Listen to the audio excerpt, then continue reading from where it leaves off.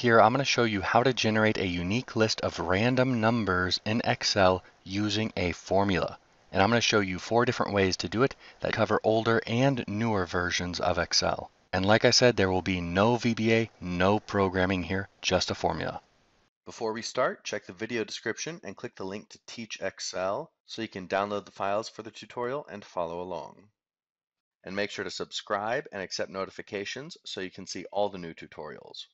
All right, here are the four methods, and the first one, we have two variations of it, so let's get started with that one. It is the most versatile, the most robust, and for the first version of it, you give it a minimum value and a maximum value. So here I want the random number to be between 100 and 999, inclusive of those numbers. And then you have the formula down here, and I hit F9 to recalculate, and it's going to update every time always with unique numbers, always between this range, and as many as I want. If I only want one cell, so one number between that range, that's it. If I want two, three, four, five, I just copy the formula down, and it gives me that many unique numbers from that range. Now let's take a look at the formula. It is quite gnarly, it's quite a large formula, but you only have to change a few things. So to make this work for you, download the file and then copy this formula. And the first change to make is for B3 and B4. You need to point that to the cell where you have the minimum or the maximum. In a moment, I'll show you how to make it so you don't have to have separate cells for these. That's the next version of this formula. But if you use this one, change B3 and B4 for those cells, right here at the beginning of the formula, right here as well, and then at the very end also a B4 and a B3 and make sure that you put dollar signs in front of those references as well because you're going to copy the formula down. The next one, very, very important, is here inside of the count if. You've got a reference, two references, although kind of a funny looking range. That must be the first cell above your list of unique numbers. In the same column, just one cell above it. So we cannot have this in row 1. It must be at least in row 2 to begin with. Later on you can move it up. I'll show you how to do that. And the first part of this reference must be with dollar signs. It must be an absolute reference. Then you need a colon, and then you need the same cell reference without dollar signs. This is a very interesting little feature that I'm going to talk about in the next tutorial, where I talk about powerful techniques for building complex formulas.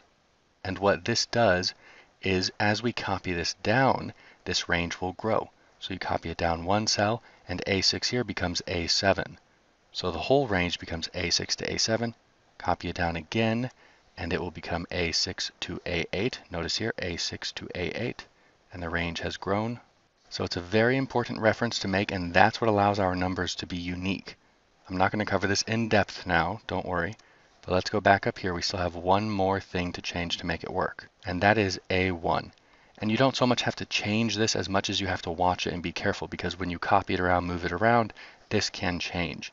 A1, it just has to be a reference in row 1. And then when it gets copied down, it'll be A2, and then A3, and so on. But for the first guy, it has to be A1. So those are the only three things you have to change. It's kind of confusing, but B3 and B4, update those guys in three places, right here, here, and at the very end. Dollar signs for all of them.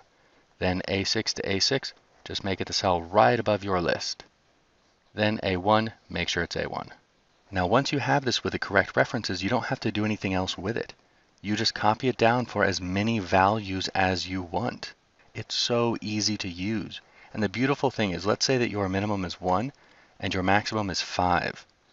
You only have 5 numbers here. Where did the other guys go?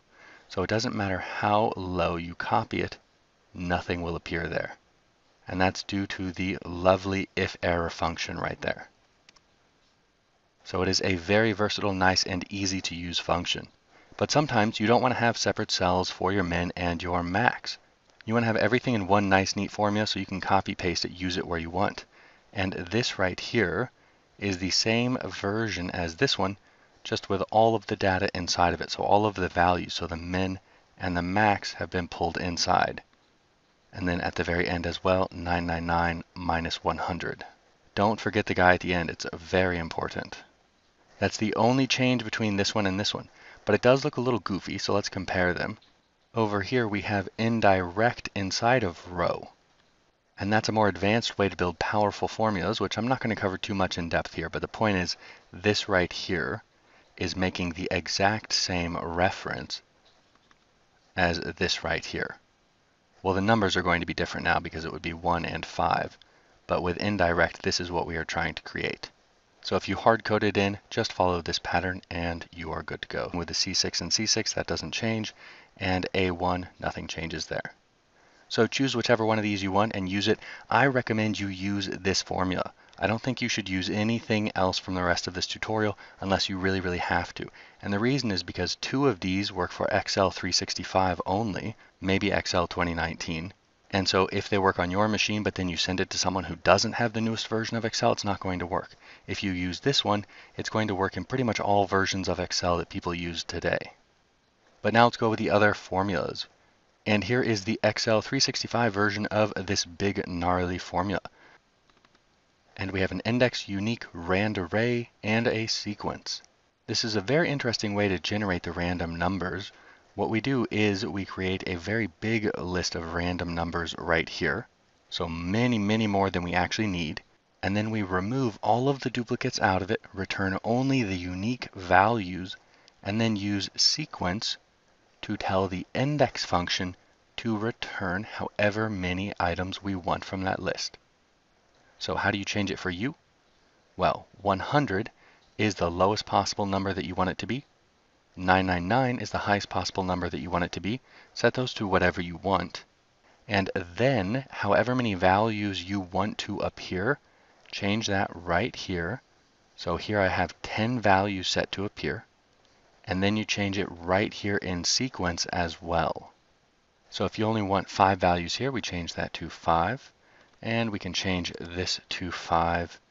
And if you want to make the lowest 10 and the highest 100, you do that and you hit enter and you're good to go. Now the next thing is that you may want to actually freeze the values. And that's so that when you hit F9 or do anything else. So if I go over here and I type something and hit enter, everything gets recalculated. You probably don't want that. So what you can do is copy paste special values. Copy it, select all of your data, Control C, and then you can just right click and go to paste special and then go to paste values like that. What it does is you have only numbers here now, no formulas, no functions. So when you hit F9, nothing updates. But how you should do that, and you really just need to memorize this, is just select your data, hit Control C to copy, then Alt E S V, enter. And then it's done.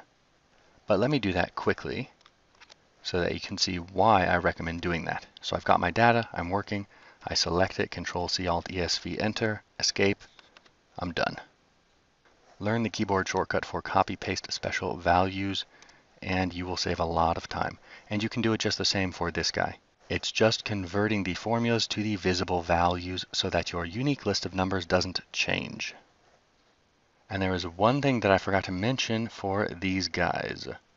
For the rows, you want to select them and then you want to hit F4. So there are dollar signs in front of them so that they do not change when you copy them down. These you do not need to have dollar signs in front of. They're hard-coded numbers. They're not going to change, but these are references within the row function. So now if we copy this down and go here, 10999 will still be the same. As you can see, it is very easy to forget absolute and relative cell references, especially with playing around with big formulas. Or we could have even left indirect inside of row and just input 10999. There are so many things that you can actually do that this tutorial will take way too long if I cover them. So let's just move on from this now working with the absolute cell references formula and skip this one that we just did and move on to the very simple versions of unique random numbers. Now, of course, everything here isn't technically random before somebody says that in the comments. It's not really random. It's what I believe is called pseudo-random. But for the purposes of Excel, everything here is random. So here we want a very simple list of numbers, say 1 to 10, but we want them scrambled in a random order. And all you have to do for that is type 1, then 2, select those, and then copy it down for as many values as you want. Then go over here and input the rand function. And the rand function generates a random or pseudo-random number between 0 and 1. You get a bunch of decimals, and then we just sort it. So let's add the little filter buttons up here actually and say that we want to sort this guy smallest to largest. Now this is all jumbled up and you can have the list as big as you want and once you have it sorted how you like so it's all jumbled then go ahead and delete the order column and you're good to go no problem. I'm going to back that up a little bit and now let's move on to the new version of this for Excel 365. So here we're going to do another very simple thing. Let's say 10 numbers, 1 to 10, and then sort them. So we use the new sort by function with sequence and rand array. Sequence generates the numbers that we want to use. So if I select that and hit F9 right now, we get 1, 2, 3, 4, 5, 6, 7, 8, 9, 10. And random array is how we are going to generate them.